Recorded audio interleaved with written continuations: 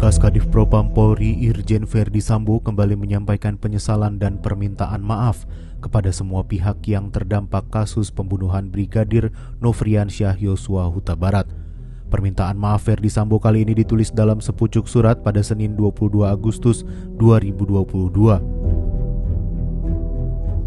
Dalam suratnya, Sambo juga menuliskan penyampaian rasa penyesalan dan permohonan maaf yang mendalam atas perbuatannya yang berdampak secara langsung pada jabatannya dan rekan-rekannya.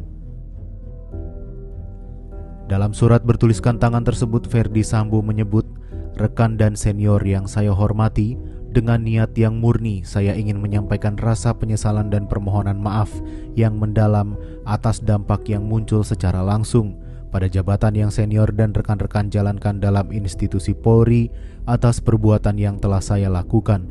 Saya meminta maaf kepada senior dan rekan-rekan semua yang secara langsung merasakan akibatnya. Saya mohon permintaan maaf saya dapat diterima dan saya menyatakan siap untuk menjalankan setiap konsekuensi sesuai hukum yang berlaku.